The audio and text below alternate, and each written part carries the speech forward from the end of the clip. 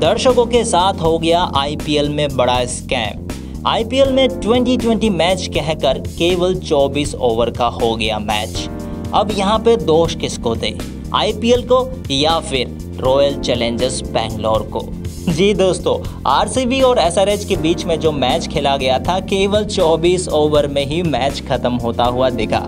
जहाँ पहले बल्लेबाजी करते हुए 16 ओवर में केवल अड़सठ रन बना पाए थे आरसीबी तो वहीं पे एसआरएच ने ये मैच जीत लिया केवल आठवें ओवर में ही। तो जो दर्शक गए होंगे मैच का मज़ा लेने के लिए, मज़ा तो उनको क्या मिला होगा? लेकिन मैच कहीं ना कहीं सजा बन गया। और अगर आरसीबी की हम बात करें आईपीएल ट्रॉफी जीतने की तो ये बिल्कुल नहीं पता कि इसी सीज़न आएगा या अगले सीज़न या आने वाले कुछ साल में। लेकिन किसी टीम को अगर ट्रॉफी दिया जाता सबसे कम रन बनाने का तो शुरुआती दस नामों में आरसीबी को ये चार बार ट्रॉफी मिल जाता।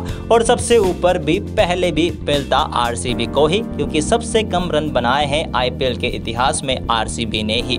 जब उन्होंने बनाया था उनचास रन कोलकाता नाइट राइडर्स के खिलाफ 2017 में तो वहीं पे अड़सठ इनका दूसरा लोएस्ट स्कोर है एसआरएच के खिलाफ। तो वहीं पे 70 रन बनाया था चेन्नई सुपर किंग्स के खिलाफ 2019 में, और राजस्थान रॉयल्स के खिलाफ भी 70 रन बनाया था आरसीबी ने 2014 में। तो दोस्तों, आप हमें बताइए कि क्या लगता है आपको आरसीबी कब जीत पाएगा आईपीएल का ट्रॉफी हमारे कमेंट सेक्शन में ज़रूर बताएँ और वीडियो को करें लाइक शेयर चैनल को सब्सक्राइब करें बेल आइकन के साथ।